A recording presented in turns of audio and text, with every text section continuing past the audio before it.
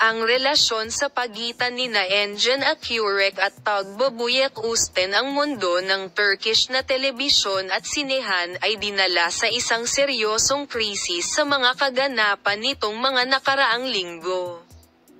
Ang pagtatangka ng sikat na aktor na wakasan ang kanyang buhay para sa kapakanan ng kanyang asawang si Tagbabuyek Usten at ng kanilang sanggol ay nagkaroon ng malaking epekto sa mundo ng magazine.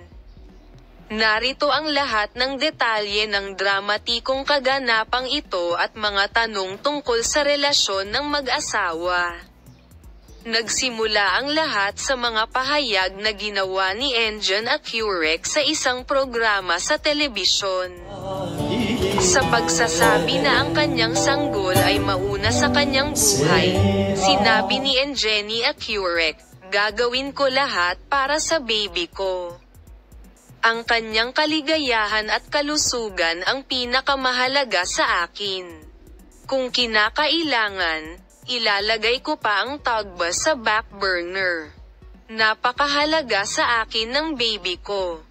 Ang mga pahayag na ito ay parehong labis na nasaktan sa tuba buyak usten. Isang malaking pagtatalo ang sumiklab sa pagitan ng mag-asawa. Pagkatapos ng talakayang ito, Si Tuba Buyek Usten ay gumawa ng isang biglaang desisyon na umalis ng bahay kasama ang kanyang sanggol at pumunta sa bahay ng kanyang ina. Ang sikat na aktor ay nagtangkang magpakamatay sa kawalan ng pag-asa.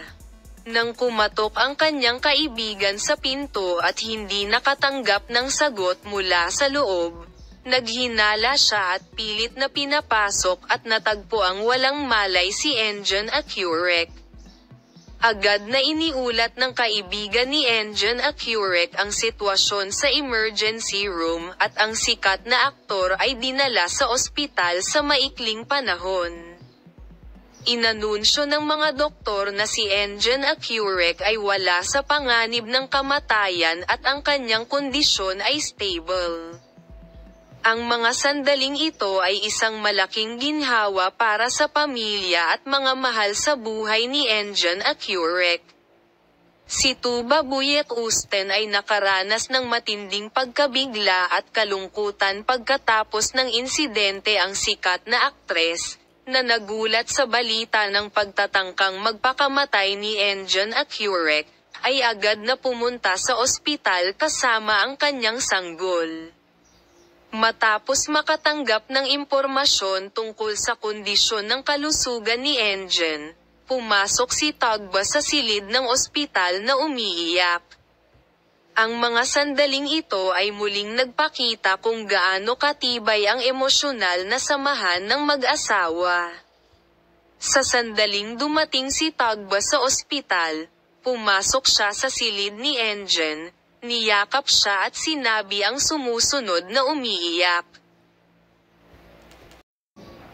Paano mo ito nagawa? Natatakot akong mawala ka. Nalulungkot talaga ako. Ang mga salitang ito ay sumasalamin sa matinding panghihinayang at kalungkutan ni Tagba. Ang pagtatangkang magpakamatay ni Engine Accurek ay nagdulot ng malawak na epekto sa media at mga social media platform. Ang mga pahayagan, mga programa sa telebisyon at mga gumagamit ng social media ay patuloy na sinusuri ang dramatikong kaganapang ito at ang mga posibleng kahihinatnan nito. Sinuri ng mga ekspertong psychologist at psychiatrist ang pagtatangkang magpakamatay ng artichoke heart at nagbigay ng payo kung paano dapat sundin ng sikat na aktor at ng kanyang pamilya ang prosesong ito. Salamat sa panonood ng aking video.